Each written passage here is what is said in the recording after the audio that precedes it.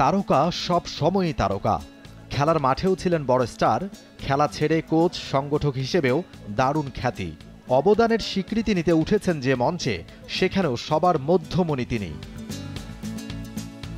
আব্দুস সাদেক, হকির সাদেক ভাই নামেই বেশি পরিচিত, কিন্তু প্লেয়িং ক্যারিয়ারে দাপটের সাথে খেলেছেন ফুটবল, ক্রিকেট, হকি, অ্যাথলেটিক্স সহ বেশ কয়েকটা ডিসিপ্লিনে। খেলেছেন অবিভক্ত পাকিস্তান হকি দলে। স্বাধীনতার পর বাংলাদেশ জাতীয় হকি দলেরও প্রথম ক্যাপ্টেন ছিলেন এই বর্ষিয়ান ক্রীড়াবিদ। আরমানিটোলা স্কুলের হয়ে ক্রিকেটে হারিয়েছেন প্রথম বিভাগের দল বিবিসি ও বাংলাদেশ স্পোর্টিং ক্লাবকে। ঢাকা বিশ্ববিদ্যালয়ে চ্যাম্পিয়ন হয়েছিলেন লং জাম্পে। আবাহনী ক্লাবের সাথে সম্পর্কটাও ছিল গোড়া থেকে। ফুটবল ও হকি দলের প্রথম ক্যাপ্টেন। ফুটবলে তার নেতৃত্বে লিগ জেতে আবাহনী। উনিশশো পঁচাত্তর সালে সপরিবারে বঙ্গবন্ধু হত্যার পর ক্লাবের অনেকেই চলে যায় আত্মগোপনে। আবাহনীকে টিকিয়ে রাখতে সংগ্রাম করেন আব্দুল সাদেক সহ বেশ কয়েকজন সিনিয়র খেলোয়াড়। তিন মেয়াদে হকি ফেডারেশনের সাধারণ সম্পাদকের দায়িত্ব পালন করেন সুনামের সাথে। ক্রীড়াক্ষেত্রে অসামান্য অবদান রাখায় শেখ কামাল জাতীয় ক্রীড়া পরিষদ পুরস্কারে আজীবন সম্মাননা পেলেন আব্দুস সাদেক।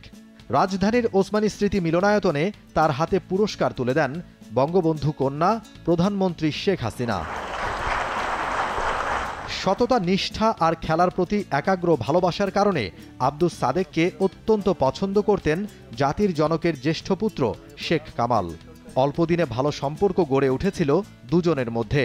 শহীদ শেখ কামালের নামে পুরস্কার পেয়ে সম্মানিত বোধ করছেন বাংলাদেশ হকির জীবন্ত কিংবদন্তি।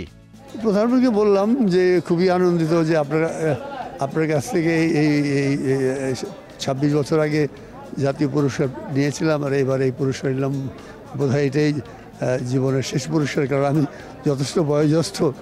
বাট খুবই আনন্দ যে শেখ কামাল পুরস্কার আমাকে দেওয়া হয়েছে, কারণ শেখ কামালের টিমের সাথে আমি বাহাত্তর সন থেকে প্রায় দশ বছর ফুটবল, হকি কোচ সব কিছু জড়িত ছিলাম। এরপরেও ছিলাম। এখনও থাকব হয়তো বা এটা এটি একটা আলাদা অনুভূতি আলাদা সম্মান বোধ করছি।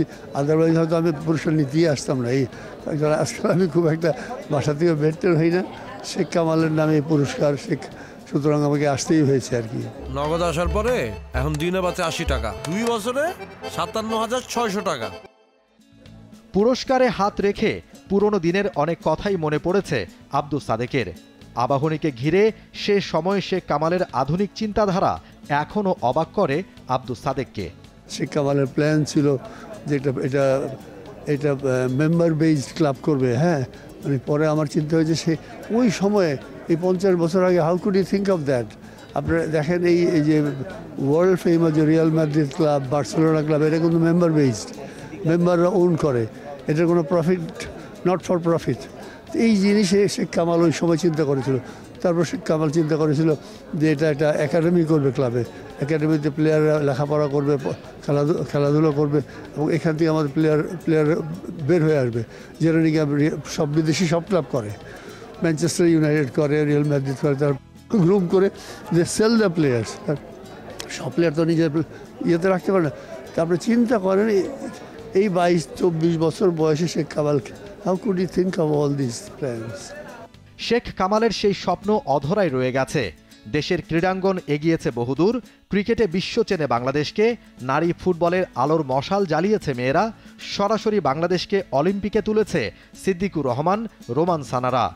কিন্তু আবাহনী এগোয়নি শেখ কামালের চাওয়া মতো। সেটা নিয়ে আক্ষেপ থাকলেও আব্দুস সাদেকের বিশ্বাস অচিরেই বাস্তবায়ন হবে সেই স্বপ্ন। অবশ্যই আমি তো আগেও অনেক বলেছি এখন আরও জোরালোভাবে বলব শেখ কামাল আজকে এই অনুষ্ঠানে আরও জোরালোভাবে বলব যাতে তার এই স্বপ্ন বাস্তবায়ন করা হয় Momin Rohan T sports Dhaka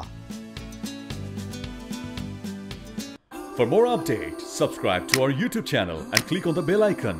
Follow us on Facebook and Instagram. Download T Sports app to enjoy exciting games and highlights.